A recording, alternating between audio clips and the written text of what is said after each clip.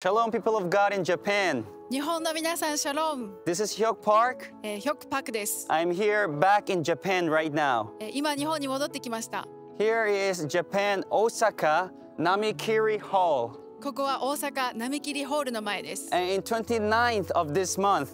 6月の29日、 here we'll be gathering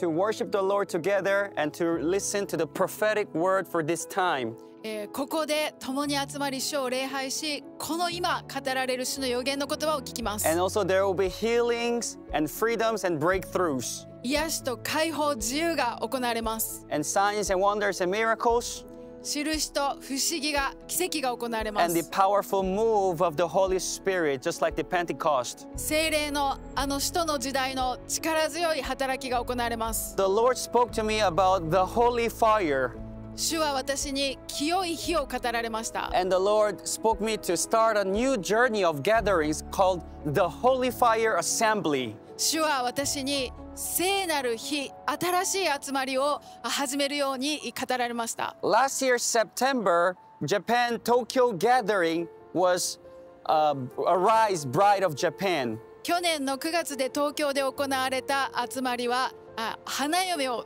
起き上がれ立ち上がれです And the second gathering in Japan is in Osaka, which is called the Holy Fire Assembly. 2度目の日本での集まりは大阪そしてそれは聖なる日の集まりです And even myself, I still even don't know what I will be exactly preaching. えで今私自身も何が語られるのかは分かりません My tongue and my mouth and my lips are entrusted to the Holy Spirit. 私の口舌は主の霊によって聖霊によって導かれていきます And even myself, I am excited and expecting to hear what will be spoken through my mouth. 私自身が自分の口を通して何が聖霊によって語られるかそれを期待しています Come and listen to the prophetic message for this time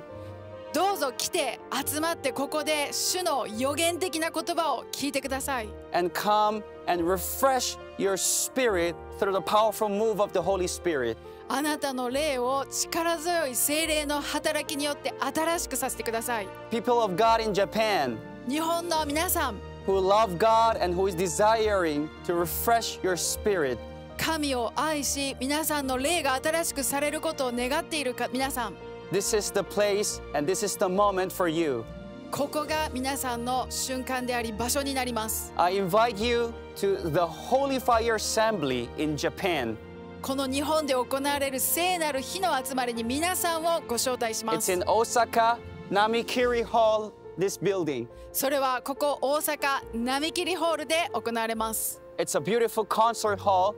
素晴らしいコンサートホール会場です and I can't wait to see the move of the Spirit happening in this gathering. ここで行われる聖霊のすべての動き働きを見ることに本当に待ちきれません 29th of June, 6月の29日 this month, 今月です、and you can have and check the uh, more details えー詳細は皆さんチェックできます in the website ウェブサイトです www.brotherhyuk.com. www.brotherhyok.com B R O T H E R B-R-O-T-H-E-R H Y E O K.com. H-Y-E-O-K.com And you can register your seat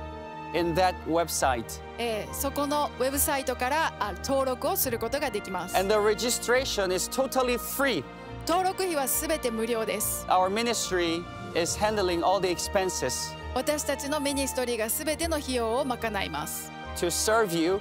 皆さんに使えるために and for you to experience the Lord for free.